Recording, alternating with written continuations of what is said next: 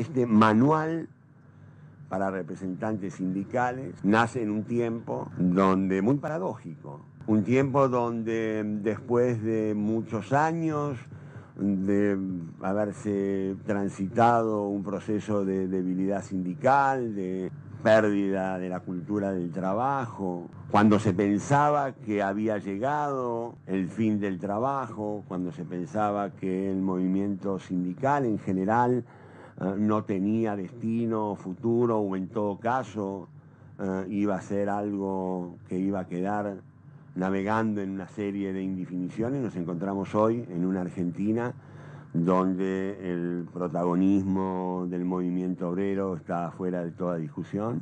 En un tiempo donde se han creado 5 millones de puestos de trabajo y esto significa el ingreso masivo en los últimos 5 años de nuevos trabajadores, estamos hablando de 5 millones, pero no solamente de 5 millones de trabajadores, sino trabajadores comprendidos en convenio colectivo.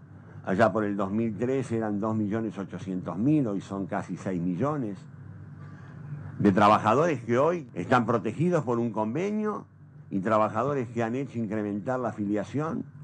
Hoy la formación sindical, la formación de cuadros sindicales se convierte, se convierte en un imperativo. Por un lado, no, no a la atomización, no a la división, no al debilitamiento del movimiento obrero.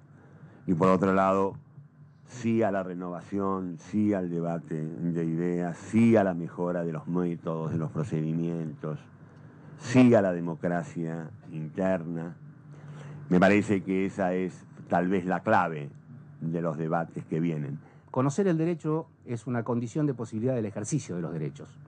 Si los trabajadores no, y sus representantes, que para eso son representantes, digamos, no están para la asistencia técnica cotidiana, de, los trabajadores en sus reclamos, difícilmente eh, consigamos la eficacia. Me parece muy interesante el hecho de que refleja que cuanto más crezcamos en democratizar las instituciones, más resolvemos la convivencia de los antagonismos y la convivencia de los antagonismos es un tema de la actualidad.